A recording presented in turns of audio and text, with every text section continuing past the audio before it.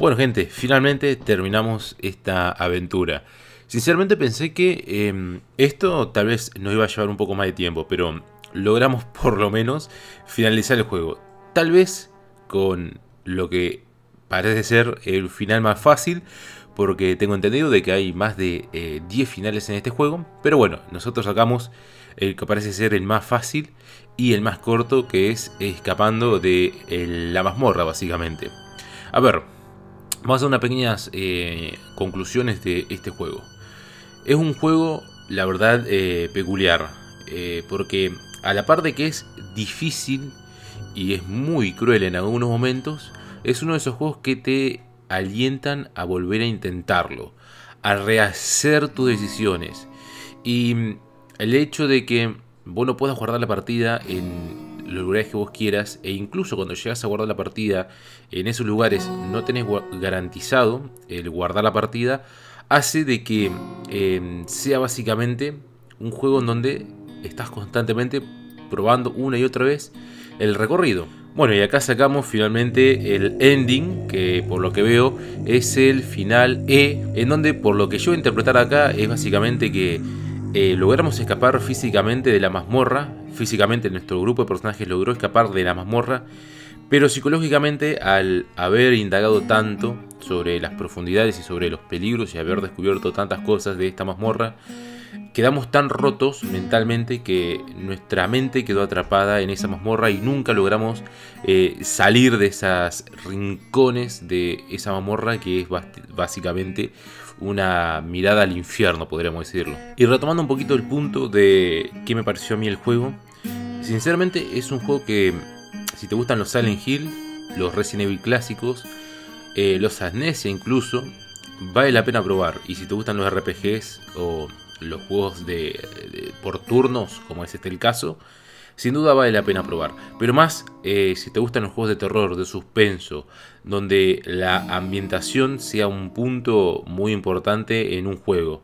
Bueno, este juego básicamente si no tiene esa ambientación tan opresora, eh, tan cargada, porque hay algunos escenarios que los sentís tan cargados de maldad y tan eh, oprimido te sentís al pasar por esos lugares, eh, que te generan esa sensación de estar siempre alerta en caso de que te salga algo.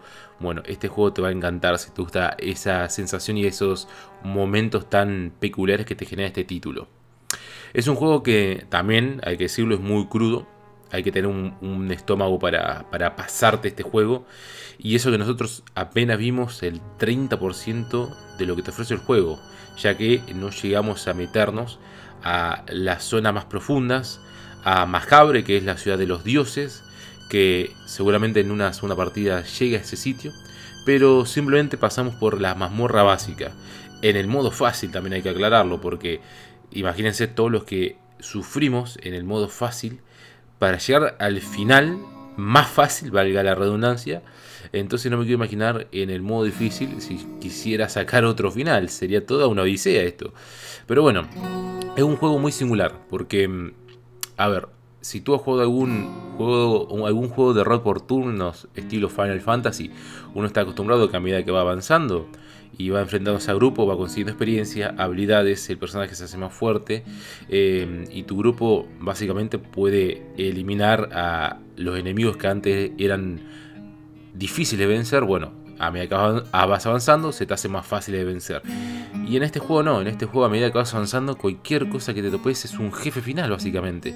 Cualquier enemigo te puede cortar un brazo, dejarte con una pierna menos, infectarte con alguna enfermedad y matarte en pocos turnos, haciendo que tengas que estar farmeando objetos que escasean encima.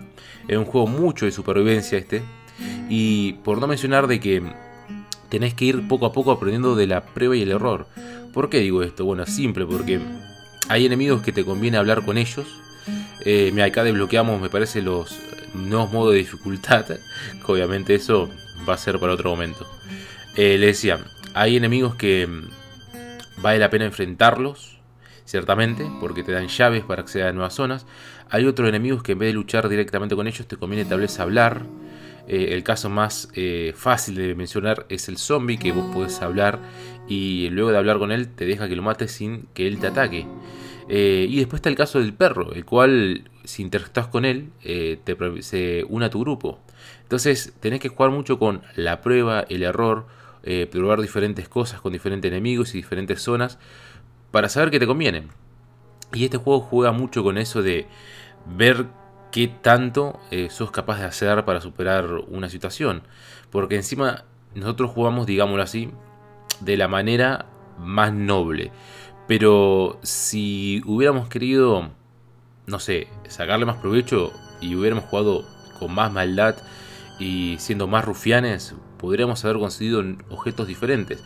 Ya con decirles que hay un personaje, un NPC que eh, podemos comerciar con él y conseguir varios objetos buenos, pero tenemos que vender a la chica que nos acompañó. Básicamente es como matarla.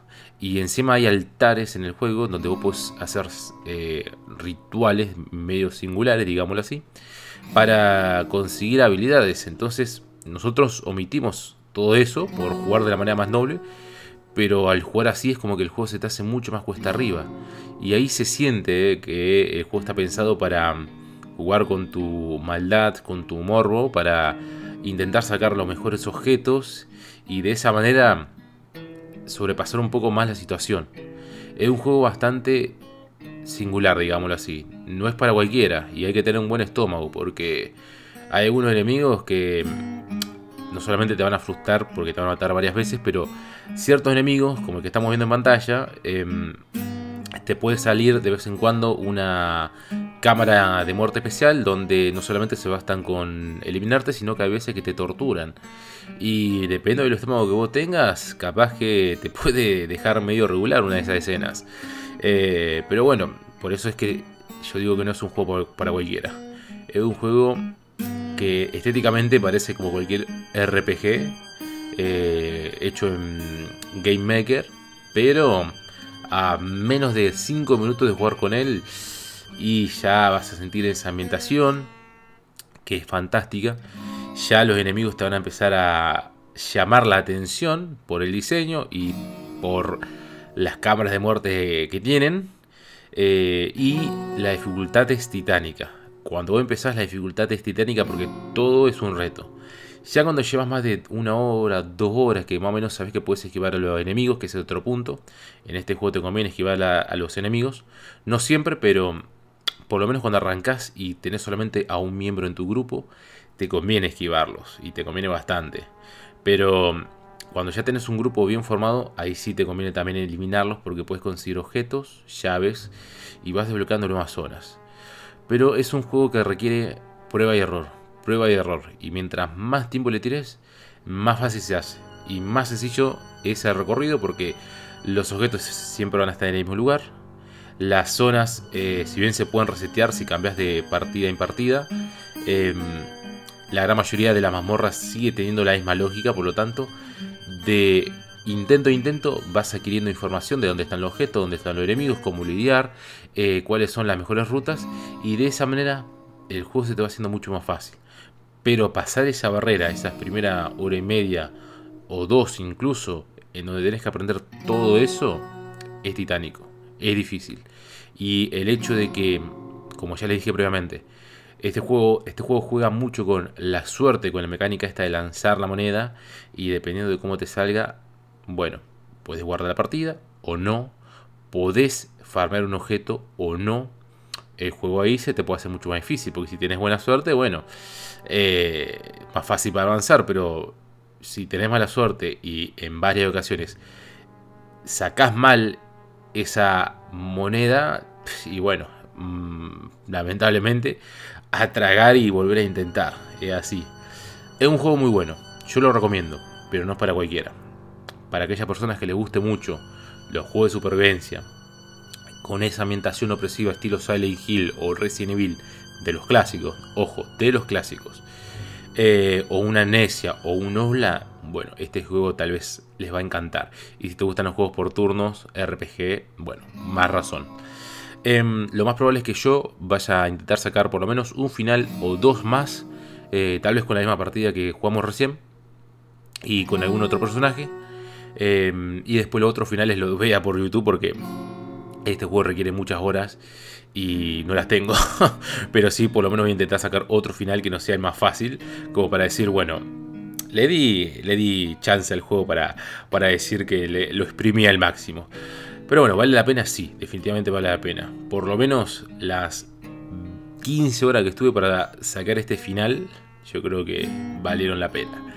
Em, finalmente, voy a subir próximamente em, mi segunda run con este mismo grupo de personajes, pero le voy a dar un tiempo de descanso para que no se sature tanto el canal.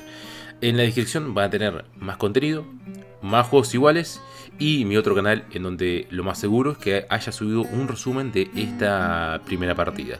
Así que se lo dejo todo en la descripción. Gente, les mando un saludo, un abrazo fuerte y nos estaremos encontrando posiblemente en una segunda, en una segunda run de miedo y hambre o en otro próximo video. Hasta luego.